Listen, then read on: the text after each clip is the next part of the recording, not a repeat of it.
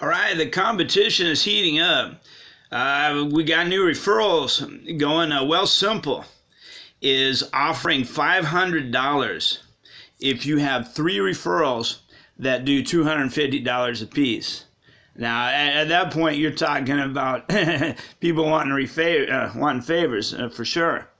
It, uh, that's a lot of money right there. Webull also has a referral offer. They were giving away free shares before, but now if you get a, and, and I have referral links for all this stuff down below. If um, they were giving away the free shares before, but now you can give a referral link and you'll get a free share, and the person that you give it to will give a free share. The um, I'm looking through the apps, and and and boy, is uh, Fetch is an interesting app. They have an app called Bump that is uh, in beta right now, so a lot of people don't have access to it. And when I was looking at Fetch, it's doing the pretty much the same thing while it's going sideways. It's given one percent, and it's already in operation, so you can you can see. Uh, it, it, I tried it at Pizza Hut. That didn't work. They only do uh, they only do um, stores. Let me go back to this thing here.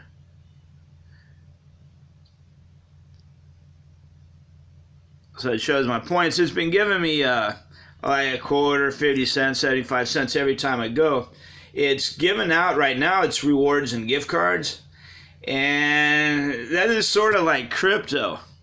Yeah, you know, and, and with, with competition heating up, you'd think that crypto would go right into, you know, a brokerage account. Like I have some six, seven dollars Litecoin. You accept Litecoin? Let's go to your broker right now.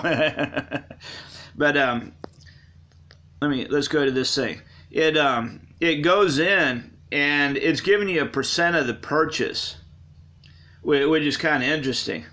It's doing exactly the same thing as the Bump app is doing, only it's given to you in points and then you redeem the points for cards.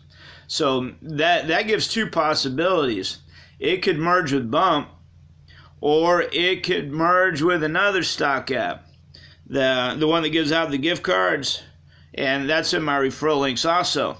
So either way, you, know, with competition heating up, there's a lot of money in the apps.